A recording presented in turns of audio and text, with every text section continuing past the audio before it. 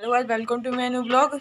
आज का ब्लॉग हम बनाएँगे एंड uh, मेरे भैया जो बड़े वाले भैया थे उन्हीं के चैनल है द टीम ब्लॉग जो है वो हमें बताएँ कि uh, वो हमें बताएँ कि तुम लोग ब्लॉग बनाना सीखो। अगर मैं नहीं रहूँगा तो ब्लॉग बना